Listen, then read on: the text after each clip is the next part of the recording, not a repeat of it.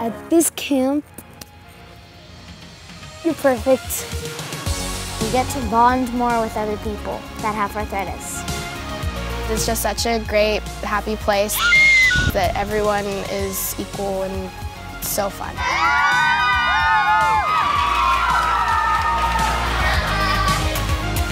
They're connecting with people that they never thought that they would connect with before on a level that they never thought they could. Finding other people who have the same disease helps you get through it on your own. I know that I'm not alone. I'll always have people there. This camp is a miracle. The most wonderful place that is for all the kids like me.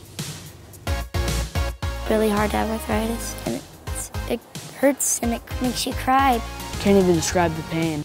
I couldn't run, jump, or skip for a year.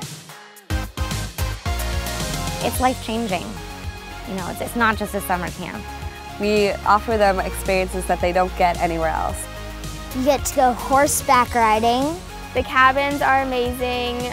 I really like the zip line. I went on it twice. They can go and do the ropes course and the rock climbing. We tailor it to be more aware of symptoms and disabilities.